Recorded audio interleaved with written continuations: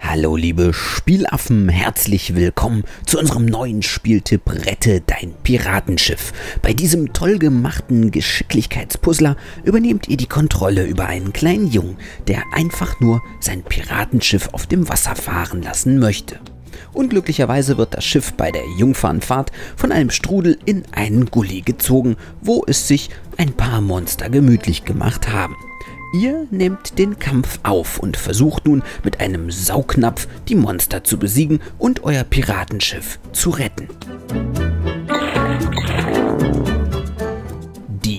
Steuerung von Rette dein Piratenschiff ist total einfach, denn ihr bewegt nun einfach mit der Maus euren Saugnapf rechts und links am Bildschirmrand entlang, je nachdem auf welche Seite ihr eure Maus bewegt. Mit einem einfachen Klick fährt der Saugnapf aus und entfernt das anvisierte Monster. Durch Rohre oder feste Steine kann euer Saugnapf allerdings nicht hindurch und ihr müsst einen anderen Weg an die Monster heranfinden. Häufig müsst ihr es dann einfach einmal von der anderen Bildschirmseite probieren. In späteren Leveln müsst ihr besonders darauf achten, die Monster in der richtigen Reihenfolge zu entfernen, denn so könnt ihr die Monster als Rampen einsetzen, an denen euer Schiff heruntergleiten kann. Kugelrunde Monster können diese Rampen ebenfalls nutzen, um hinunterzurollen und eurem Schiff oder einem anderen Monster einen kleinen, aber entscheidenden Schubs zu geben. In anderen Leveln kommen noch Bombenkisten dazu, die beim Berühren oder Herunterfallen explodieren.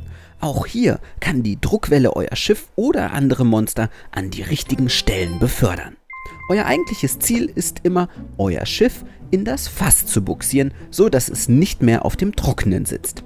Je schneller ihr dabei seid, desto besser wird eure Levelbewertung am Ende ausfallen.